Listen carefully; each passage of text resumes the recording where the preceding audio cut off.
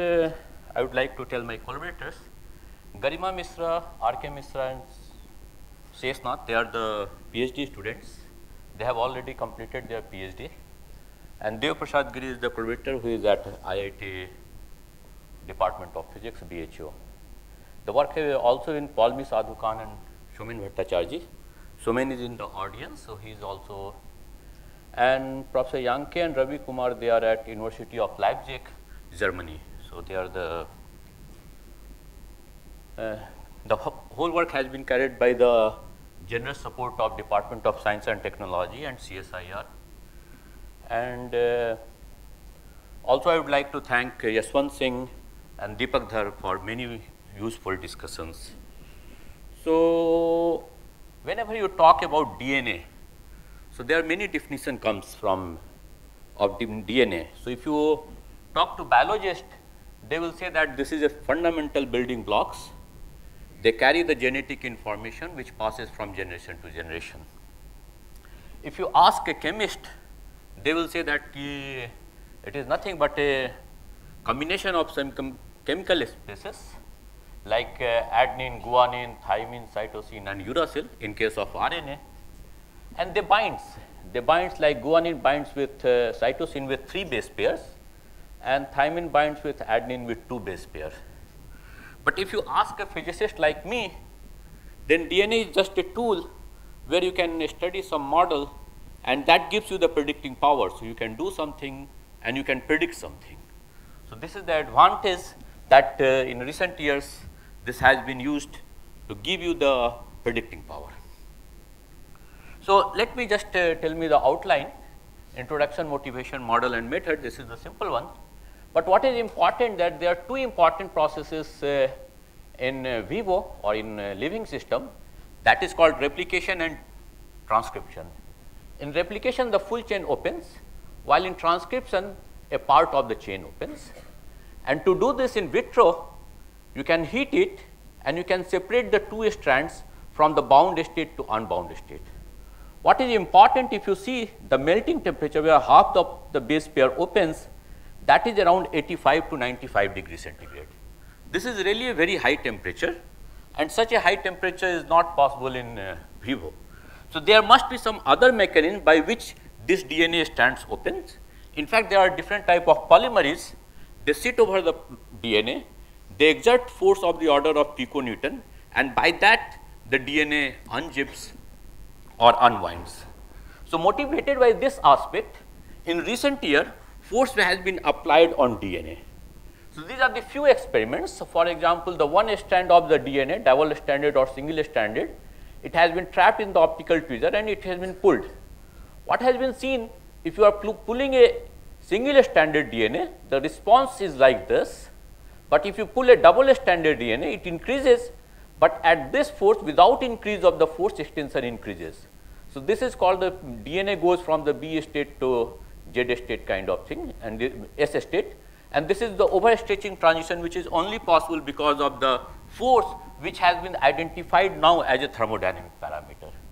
There is another sort of experiment where instead of pulling a DNA, you can unzip the DNA. So, you apply a force perpendicular to the helix direction and measure what is the force which you need. So, there is a signature if you need high force, it corresponds that the sequence is enriched in GC because this, they are bounded with 3 hydrogen bonds and if force is less you can say that it is bounded with 2 hydrogen bonds. So, this gives you the picture of the DNA sequencing kind of thing which you can obtain from such experiments. It is also possible now to unzip DNA when you apply a force along the helix direction. So, in this case where the unzipping the bases are opening one by one here all the bases break simultaneously and the force whatever is needed is much higher compared to this. So, these are the some of the experiments which uh, have been done in recent years and our uh, aim is to understand those experiments what is exactly going on. So, taking the first example which is called the DNA rupture. So, you take a DNA a simple very simple model of DNA you can apply a force on both ends and you consider this your model Hamiltonian where these all are considered as a spring. So, the covalent bonds they are modeled with the springs and also the base pairing has been modeled with the springs. And this model has been proposed by de Gennes and whatever he has solved that the force required to break all these bonds is given by this relation that is Fc is equal to some parameters. This uh, work appeared in 2001 and after 7 years the experiment has been performed in uh, Harvard by the Prentiss groups and what they found that the force to rupture like this is goes with this and this is the de Gennes formula which fits these experiments. So, what this formula is or this what we found if your DNA length is small the force increases linearly and then it saturates. So, this is a simple model which captures this essential feature of the DNA. So, we tried to simulate this model or this phenomena by considering DNA as a coarse grain model where the few base pairs has been modeled as a bit and we consider the chain of these two bits which are the complementary with the condition that uh, we have the native base pairing interaction that 1 binds with 1, 2 binds with 2 and so on. The model Hamiltonian consists, the first is the harmonic term which is associated with the covalent bond. Then we have the excluded volume effect and then we have the base pairing interaction which we have considering with the Lennard-Jones potential kind of thing. This delta ij ensures that we are considering the native interaction. So, basis 1 other than 1 if it is then this term will be 0. So, interaction is 0 otherwise. We use uh, a force term in the expression and then try to solve this equation using the Langevin dynamics simulation, where this noise term is given by this, this is a standard and the d by dr, the conservative force comes from this. If you solve this equation, whatever we find that uh, this is the melting profile kind of feature with temperature, there is no force and it says that whenever half of the base pair opens, the differential melting curve or a specific heat also coincides. So, we capture the essential feature of this DNA melting whatever you see. But what is more important that using this formula and our simulation results, they also match very well. So, in the previous curve, we have shown that uh, differential force approaches to 0. So, what does it mean that whenever you apply the force, the hydrogen bonds at these stages they stretch more, but hydrogen bonds which are in the middle of the chain they do not get affected. So, this feature has been captured in our simulation. So, the end hydrogen bonds they stretch more while the chains which are in the middle they do not stretch. So, this is the so we extend our model. So, there is another model which molecule which has been studied very recently they are called the aptamers they are found in vivo and they are the basically the antibodies which uh, acts and produced in vivo. So, they are very short nucleotides and in addition to this uh, nucleotides which may be DNA, RNA, they are a base pocket which contains instead of complementary base pairs the guanine pocket means the first strand also contains the guanine and the second strand also contains the guanine. So, this is basically a base pocket kind of thing where the other molecules can sit and they can bind with this.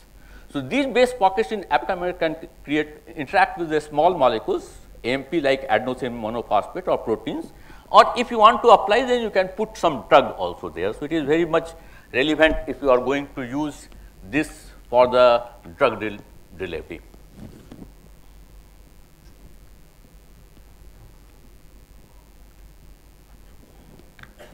So, this is something which is very new.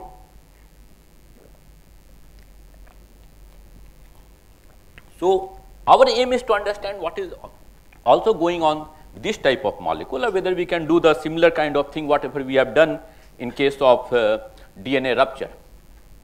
So, this is the AMP that is the adenosine monophosphate. And this is the base pocket whatever I was saying that this strand and this strand contains a guanine and these molecules can sit here whatever I have shown here. So, recent experiment was that they have pulled this AMP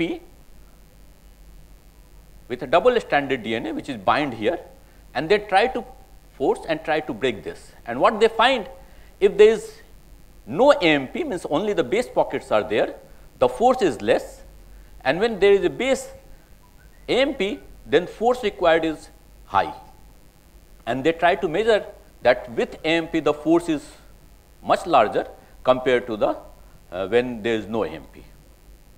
So, this is 2011 work. So, motivated by this aspect we also try to consider the similar kind of thing, but in our case the model is much simple that we are considering the base pairs base pockets which is like this which is contains the uh, complementary strand is not uh, AT or GC this also G and in this region this is also G.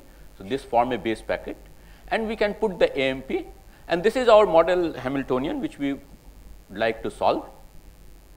So, how to model this AMP? So, we approach a very simple approach that whenever there is a base pocket then there is no interaction. So, this we consider that A is 0 in our Hamiltonian. So, it means there is no base pair and if A is equal to 1 it corresponds that it is a normal base pair and if there is AMP then we put this value is equal to 2. So, it is more stronger. So, we have the three kind of uh, interaction in the model system that first it has no AMP means it is 0. If there is a usual base pairing then it is epsilon is equal to 1 and if it is AMP then epsilon is equal to 2. We do the Langevin dynamic simulation and try to find out what is the force distribution. So, this is the force distribution whatever we are getting with AMP and without AMP. So, again we can see that if AMP is there then the force required is higher compared to without AMP and this is the loading rate and force unfolding whatever we are getting and this is similar what has been observed in experiments. So, the qualitative feature has been captured.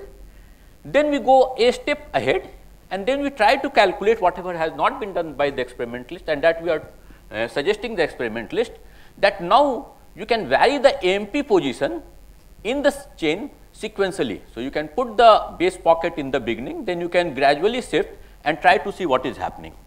And then you try to find out the melting profile with respect to the base pocket position and whatever you see that if the base pockets are at the end AMP, the melting temperature is low means DNA is more stable and whenever it shifts then it melting temperature increases and then again by the symmetry since uh, whenever this end comes to this end then again it goes like this. However, whenever you, there is no AMP, so this is the way the AMP moves along the chain. So, when there is no AMP like the second case, the melting profile decreases like this. So, this is the situation.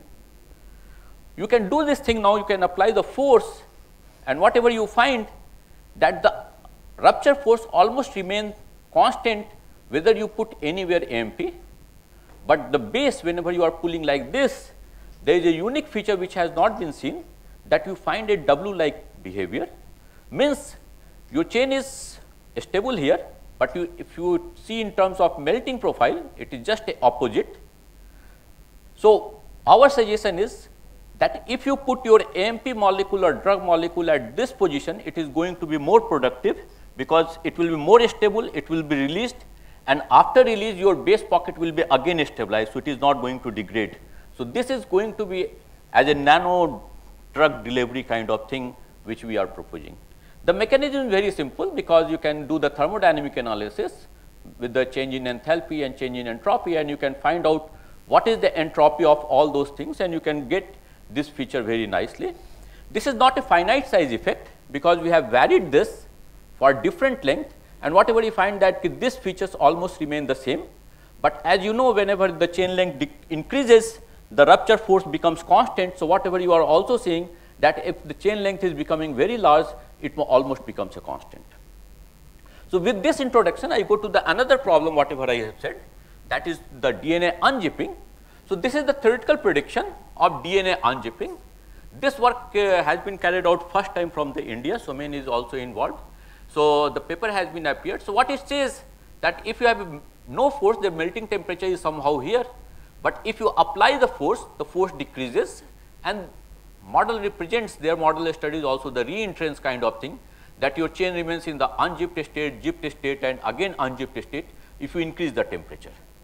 The corresponding force temperature diagram whatever has been observed experimentally 2 years later that experimental phase diagram matches very small region with the theoretical prediction and there is no comparison either at low force or at high force. So, this remains as a puzzle and we try to address this and what if we find that uh, the whole phase diagram is not uh, fully equilibrated because in this region there is a hysteresis kind of thing.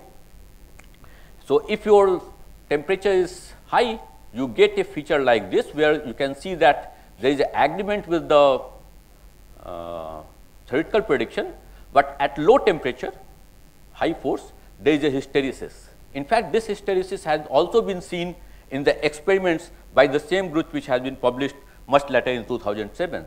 So, whenever you see the hysteresis, it says that the system is not equilibrated, you are in the non-equilibrium system.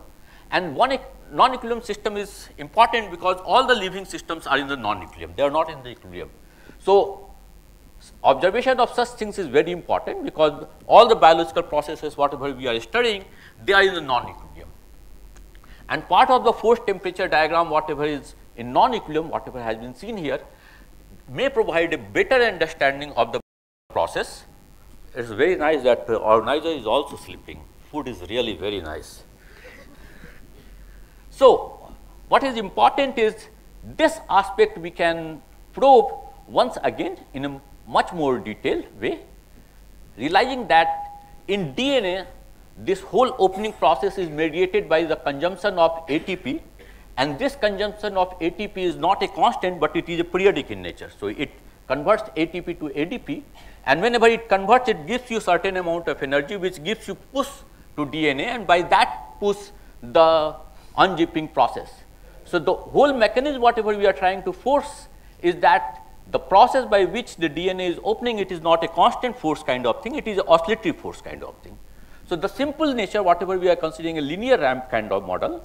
So, you can apply a force in a such a manner and you try to see what is happening. Whenever you are applying the oscillatory force, there are two parameters which you can consider. Either you can vary your amplitude of the force or you can vary the frequency of the force. With these two parameters, you try to explore this is not very unusual because there are so many mechanisms which has been said that the force whatever is going to apply on the helicase or the fork by the helicase on the fork is really a periodic kind of thing. So, if they go hits and they come back, they go hits and come back. Inchworm model or the other mechanism they suggest that the force whatever is acting is really a periodic kind of thing. So, whenever you are considering this the dynamical order parameter, one of the dynamical parameter is the area of the loop. So, you tr try to calculate under the oscillatory force the area. So, if you trace a area like this, then you call that your uh, uh, system or DNA is in the zipped state. If area goes like this, then you call it is in the unzipped state.